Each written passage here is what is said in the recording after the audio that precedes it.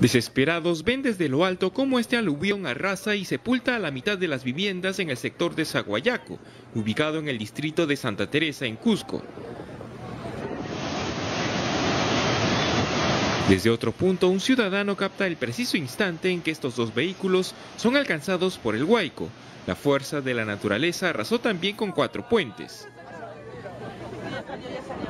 De esta forma, los medios nacionales informaron el desastre natural que azotó el distrito de Santa Teresa en la convención en febrero del 2020, poco antes de la emergencia sanitaria de la COVID-19. Más de 200 familias fueron afectadas entonces y hasta la fecha siguen pernoctando en carpas, pues la ayuda humanitaria jamás llegó a pesar de los compromisos. Que nosotros tenemos que cumplir con toda la documentación que nos pide vivienda. Entonces, el informe final tiene que dar el gobierno regional a través de juez y hasta la fecha no lo está haciendo, es por eso que he venido a exigir. El alcalde de Santa Teresa hace referencia a la atención que no recibe aún esta población afectada por una demora en la entrega del informe final que está a cargo del gobierno regional, para que a su vez sea elevada a nivel de ministerio y entonces recién un año y nueve meses después podrían ser atendidos con algún módulo de vivienda o reubicación. Ellos eh, indican de que no hay tiempo para que viajen y lo van a hacer este mes, al próximo mes, y eso no estamos pasando. Solamente estamos oh, esperando que lleguen los módulos para atender a los damnificados. ¿Estos módulos no hasta ahora? Hasta ahora no llegan. ¿Cuánto es? Son 202 familias damnificadas. ¿Y las familias dónde están actualmente? Ahorita algunos se siguen viendo también las cartas que hemos proporcionado Defensa Civil. En nuestra región, donde cada año tenemos épocas críticas muy marcadas por la lluvia, la helada y otros fenómenos climatológicos, es importante contar con planes de contingencia muy bien elaborados y sobre todo un verdadero compromiso para atender las posibles emergencias en los diferentes niveles de gobierno. Este año, según Cenami, las probabilidades de lluvias intensas en los siguientes meses son bajas. Aún así no debemos bajar la guardia, pues la naturaleza no advierte y nos puede sorprender con desgracias como las de Santa Teresa. Todavía no tenemos una declaratoria de emergencia, por ejemplo, eso nos hace pensar de que lo que va a venir en la época de lluvias pueda no ser tan grave, o en todo caso están esperando hacer los estudios porque en perspectiva tiene que pasar este mes de noviembre para ver cómo se comporta de enero a marzo. Hasta la fecha no hay una confirmación de lo que se nos viene en los primeros meses del siguiente año, o si el fenómeno de la niña puede hacer estragos en el sur del país, o del niño en el norte. Más allá de que pueda ser pronto para hablar de estos fenómenos, y las emergencias, no hay que perder de vista los trabajos de contingencia, que contemplen acciones, materiales, presupuestos y demás para atender de inmediato las eventualidades. El nombre de la niña es lluvias eh, intensas en el ámbito de la zona sur. Y el fenómeno del niño es lluvias intensas en el ámbito norte. Pero casi nunca los dos fenómenos se juntan.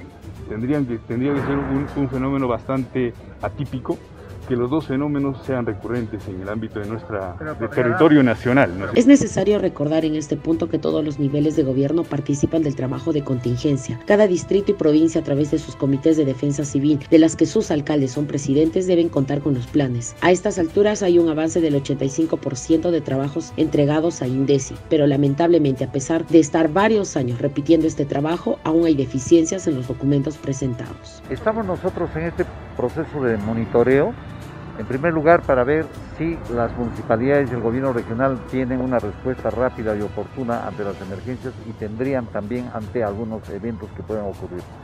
Con el gobierno regional hemos coordinado la semana pasada, ellos están ya prestos, listos, tienen bienes de apoyo humanitario, tienen personal y están trabajando su plan de contingencia con presupuesto no importante. En cuanto a los municipios, quiero manifestarles que ya el 85% aproximadamente han entregado su plan de contingencia para la temporada de lluvias. Lo que falta que en muchos de ellos se considere también este, un presupuesto especial, porque no solamente se trata de enviar qué van a hacer, sino con qué recursos económicos van a afrontar una emergencia. Es en este entender que ya se ha conversado con los señores alcaldes. Básicamente la Oficina de Gestión de Riesgos maneja como recurso principal combustible y maquinaria en ocasiones para los trabajos preventivos de limpieza de cauces, limpieza de ríos, etc. Aunque este recurso sigue siendo ínfimo para la demanda en una región tan complicada geográficamente como la nuestra. El recurso que nosotros manejamos como Oficina de Gestión de Riesgos es básicamente combustible, pero no tenemos cantidades industriales.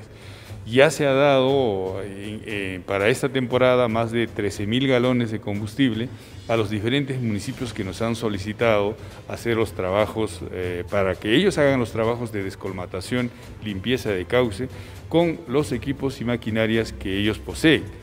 Nosotros eh, otorgamos combustible, si bien es cierto, pero tampoco podemos dar cantidades eh, gigantescas, dado de los recursos que se tiene en el gobierno regional y la previsión que hicimos de compra de combustible para esta tarea preventiva. Ante la ausencia de una norma que declare nuestra región o algunos distritos en emergencia, es difícil destinar una buena cantidad de presupuesto a trabajos preventivos o estoquear los almacenes con ayuda humanitaria. Por ahora solo se debe trabajar con los pocos recursos o gestiones que se puedan hacer. Esto es lo que aparentemente muchos funcionarios responsables de defensa civil en cada gobierno local no tienen claro y mal asesoran a las autoridades de turno. Pero también hay desconocimiento por parte de algunos jefes de defensa civil que deben asesorar a sus alcaldes. Hay algunos distritos, por ejemplo, en ANTA, que están pidiendo presupuestos este, que se les asigne el INDECI, que están pidiendo maquinaria, que están pidiendo combustible para descolmatar algunos ríos. Eso lo hace la región. Entonces estamos en un proceso de capacitación, de inducción para que todos entiendan realmente la responsabilidad de acuerdo a ley. Vemos que el trabajo preventivo es importante, sin embargo, sin recursos, muy poco o nada se puede hacer. Aún así no deja de ser una tarea trascendental para cada autoridad local trabajar, pero trabajar bien en estos planes. Si bien un fenómeno natural no advierte y puede ser tan agresivo que nos deje mal parados a pesar de cualquier contingencia, no deja de ser necesario. Para no repetir dramas como nuestros hermanos de Santa Teresa, que en tres meses más cumplen dos años a la intemperie, en carpas, esperando la buena gana de las autoridades para recuperar al menos la dignidad de una vivienda. Vivienda. ¡Sale